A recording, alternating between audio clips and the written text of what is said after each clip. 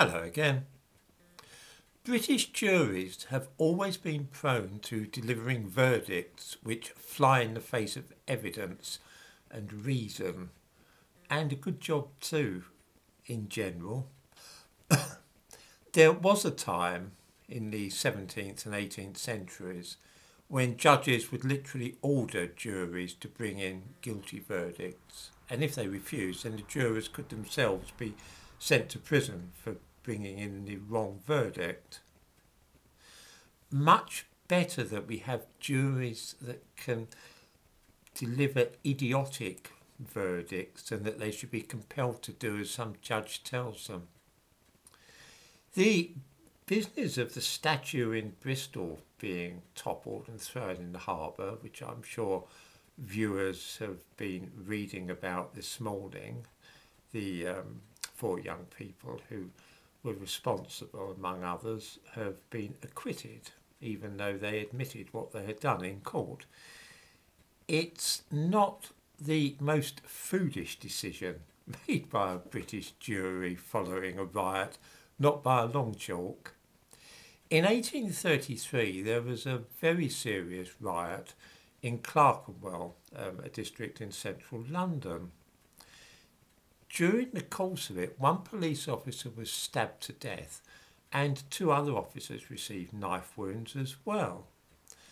The men responsible were caught, but first a coroner's um, jury brought in a verdict of justifiable homicide in the case of the policeman who had actually been killed.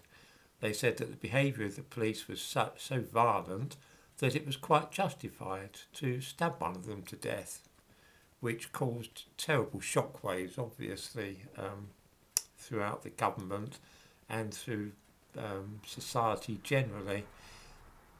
A man who had stabbed two of the police officers, and there was no doubt at all about it, was brought to trial at the Old Bailey.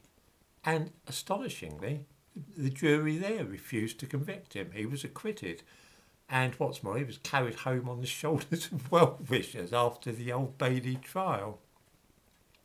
I give a link um, to a piece about this case in the description to this video, and the thumbnail to the video shows a riot in which PC Culley uh, was killed. The danger in the latest case of people being acquitted after the disorders in Bristol, though, are nevertheless fairly serious. Some newspapers are talking about the possibility of other statues being pulled down with impunity. But as we can see from the case of P.C. Culley being stabbed to death in 1833, the danger does not end there. If juries accept that causing damage to statues can be justified and excused because of the cause in which it was done, then of course I might also follow the same line of reasoning when it comes to breaking the windows of a building or even starting a fire. What about breaking the windows of an unpopular politician's house or burning it down? Lynching somebody? There really is no end to the things which a mob might undertake if they felt that a jury would be on their side to that extent, this particular verdict is likely to create a little uh, disorder in the future. In the case of PC Culley, the unfortunate police officer who was killed in Clerkenwell almost 200 years ago was really a matter of an innocent person being caught in the crossfire the rioting mob was angry at the government and they were attacking the police officers not as individuals but they saw them as agents of the government. It's not difficult to imagine a time in the not too distant future when a protest against an unpopular government turned ugly in this country and a police officer was injured or even killed. Could a jury, jury return a verdict in the same unreasonable way that the one yesterday did? I think the implications of the verdict delivered in the Bristol case will take a little time to sink in, but I can see trouble ahead if we're not careful.